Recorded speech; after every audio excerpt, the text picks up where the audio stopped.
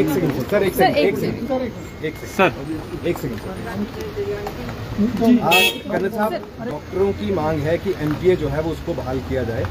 आखिरकार सरकार ने फैसला क्यों किया ऐसे करना पड़ेगा ऐसे करना पड़ेगा। कोई भी स्टेट चलती है निकलती गुजरती है इस प्रकार के फैसले फाइनेंस की तरफ़ से है।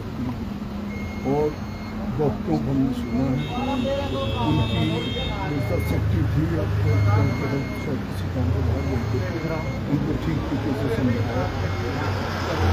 पब्लिक से किसी तरीके की बाधाएँ नहीं आई आक्रोश सबका होता है उन्होंने लेफ्टिनेंट बाँध रखे हैं कि उनको आने वाले जो उनके डॉक्टर हैं, उनको ये प्रोस्पेक्टिव है। ये आज के डॉक्टर पर लागू नहीं है।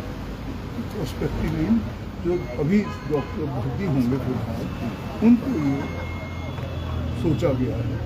डॉक्टरों की मांग है कि ये रेट्रोगेट स्टेप है और क्योंकि एंट्री क्यों दिया जाता है?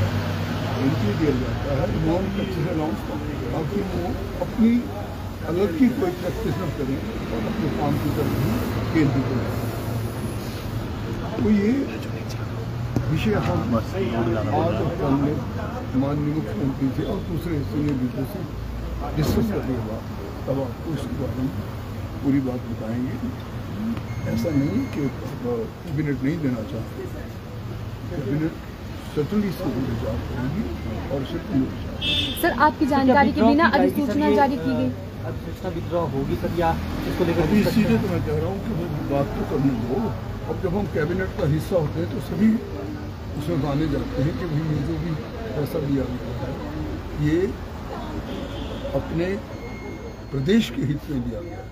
परंतु हमारे कर्मचारियों को और खासकर डॉक्टर्स को इसके बारे में जो कहना था उन्होंने, काफ़ी देर में कहा, मैं तकरीबन दो घंटे लेट चल रहा हूँ यात्रा पर नौ बजे चलना था मुझे, और अभी आप देखने क्या टाइम है। उन्होंने सुना है और अब जब मुझे बात करने सबकी बात सबकी बात सर क्या स्ट्राइक रहेगी? उन्होंने पेंडाउन स्ट्राइक के लिए स्ट्राइक सर उन्होंने तो कहा है कि वो स्ट्राइक कोई स्ट्राइक नहीं आपने आपने जो सुना तो आपने सुन लिया मैं बता रहा हूँ आपको कोई स्ट्राइक नहीं पूरी सेवाएँ लोगों की।